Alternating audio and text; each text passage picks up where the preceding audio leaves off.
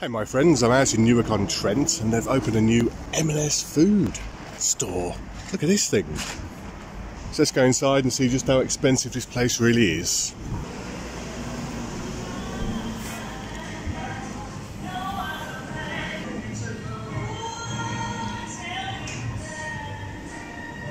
Okay, so they're welcoming us into the store with the healthy options. Can you see?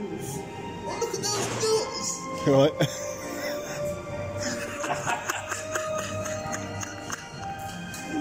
okay, so as we get a feel for what's about to happen to my till, walnut halves are five quid and pistachio nuts are five quid. I think that's rather telling. Now they're really going for it with the plant-based action. This is quite a decent display. Look at this. We've got this range here called Made Without. This is M&S's own range nice range of fresh soups and I'm gravitating to these yellow stickers straight away. Look at this. And it is it's a ch chunky smoked haddock chowder. One of my favourites right get in the basket. Quite deceptive packaging though. I thought they were like big and round. And they look big on the shelf when you take it off. It's actually quite thin. Here's some of their diet range action.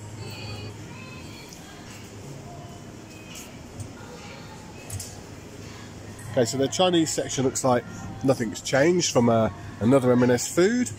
And we've got this Taste Thailand, 10 quid for, what you get in there, like curries and noodles and da da da and all the rest of it. Okay. And they're doing it in Chinese and Indian. All for a tenner a pop. I can't see any new curries in here. However, they are offering their best ever chicken tikka masala for five quid. So we'll give that one a go. Standard pizza selection. Do you know what? This is Sonaroni's favourite pizza. So I'm going to get him a M&S one today. See what he thinks of that. Okay, so I couldn't find the side, so I asked one of the lovely assistants in here, and she showed me over here. So I've got to say, the customer service thus far has been very welcoming. So I'm going to go with the cheesy, dirty fries. And the loaded potato skins because my ma loves those things, so I'll drop those off to her on the way back. Now then, if anybody wants to spend all of their savings in one go, how about a 25 quid slow cooked short bib of reef? It's got truffle jus. That may be partly why it's 25 quid. But if you haven't got so much money, you can always have one of these. Oh, look at this. a boneless basted beef joint for £5.36. It'd be rude not to, wouldn't it? Chicken, duck, and you get your pork and briskets.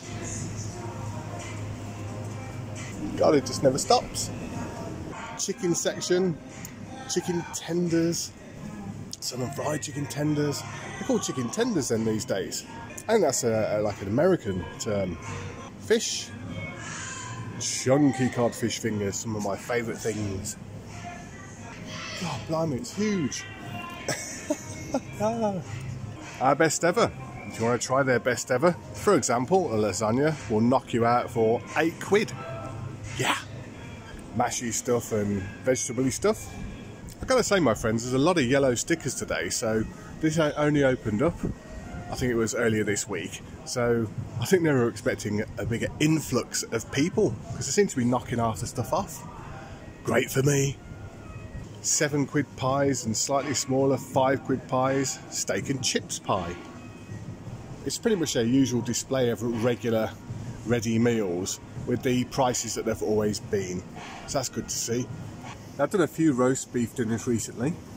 So we'll move along and we have roast pork and we have roast chicken.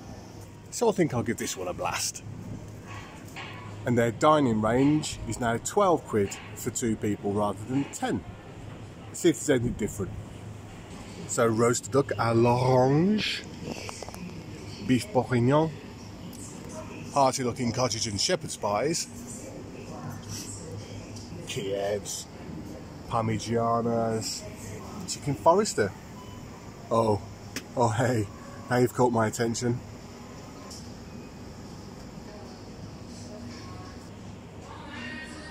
They got a decent selection, my friends, I've got to say.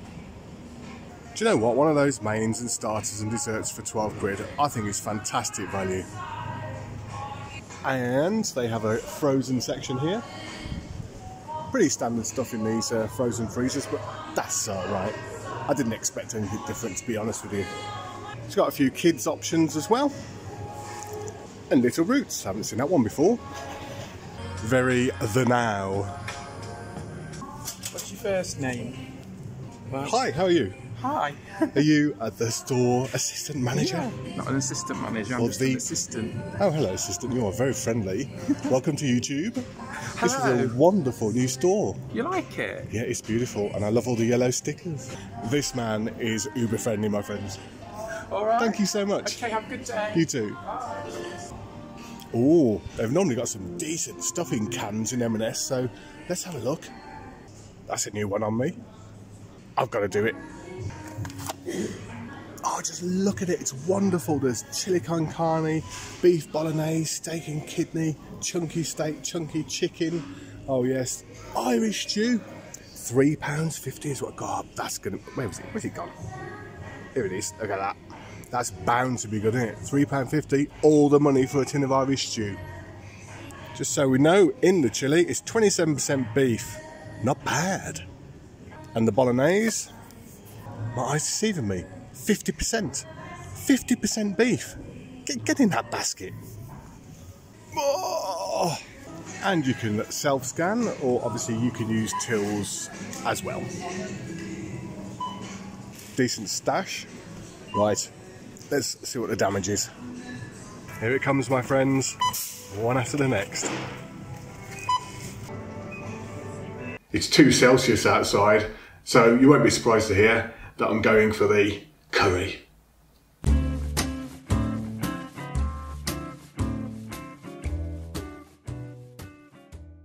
So, weighing in at 460 grams, M&S, our best ever chicken tikka masala. Smoky masala sauce with pieces of tandoori red chicken breast, red chilies and coriander.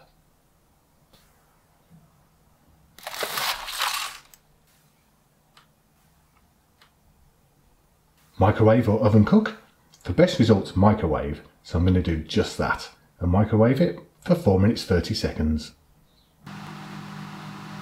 So here it is, my friends, straight out the microwave.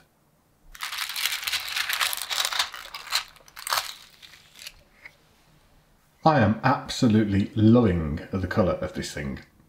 We start off with the light orange going to the darker rusty orange towards the rim. As we stir it up,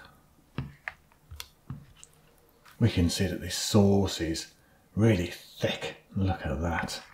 And it smells very creamy and really curry.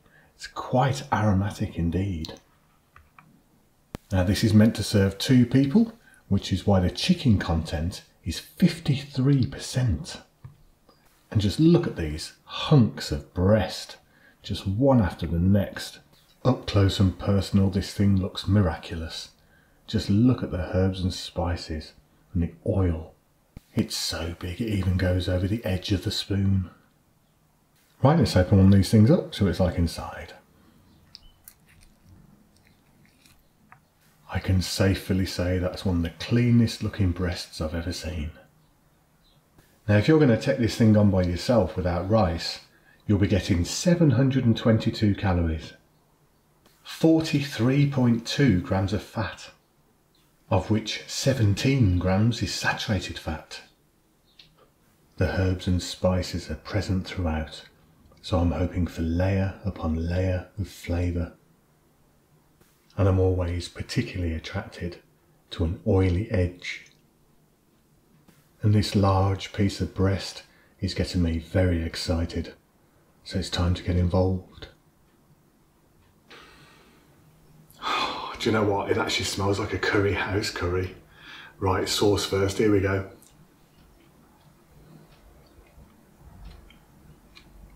Oh, yeah. That right there, my friends, is one of the best tikka masala sauces I've ever tasted. That really does have a lot of layers going on. There are so many herbs and spices. I can't even begin to tell you what they all are. It's really creamy. And there's a little bit of chili kick as well in the background.